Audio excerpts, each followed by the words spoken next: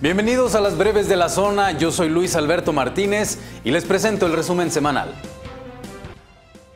El domingo pasado, la mamá y familiares del Marro, detenidos el 20 de junio en la comunidad de San Isidro de Helguera, en Celaya, fueron liberadas por un juez de control que no encontró pruebas en su contra y detectó indicios de tortura en las detenidas.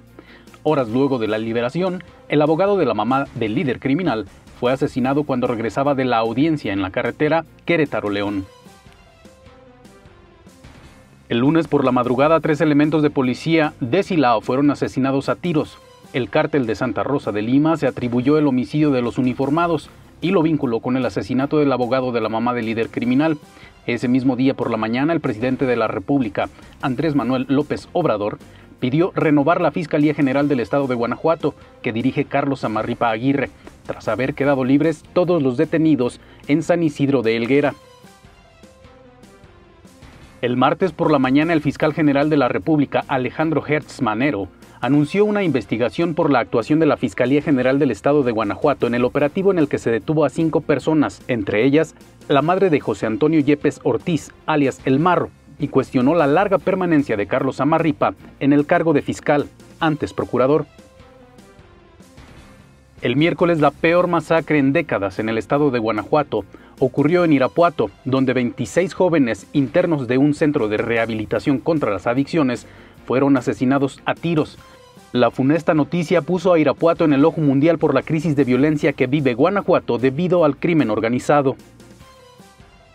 El jueves, el presidente de México, Andrés Manuel López Obrador, tras la masacre registrada en Irapuato, insistió que la investigación a la Fiscalía del Estado no es un tema personal ni político, sino por la crisis de violencia que atraviesa el Estado y la necesidad de cambiar los órganos de seguridad.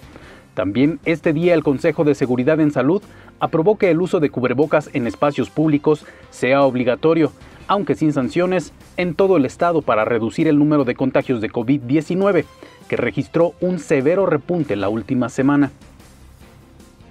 El viernes por la madrugada fueron asesinados cinco elementos de las Fuerzas de Seguridad Pública del Estado en la carretera a Paseo Jerécuaro, cuando viajaban a bordo de su patrulla. Trascendió que los atacantes se trasladaban en una camioneta roja.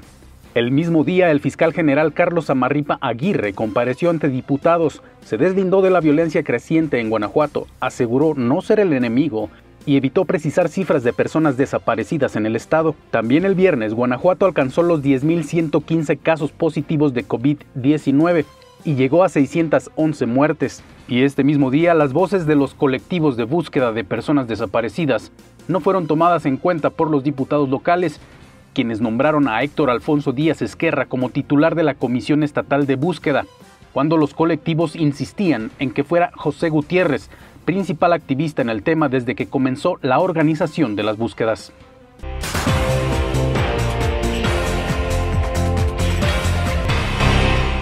Recuerda que los detalles de estas y otras noticias los puedes ver en nuestra página de internet www.zonafranca.mx. El lunes viene mi compañera Carmen Martínez con más información.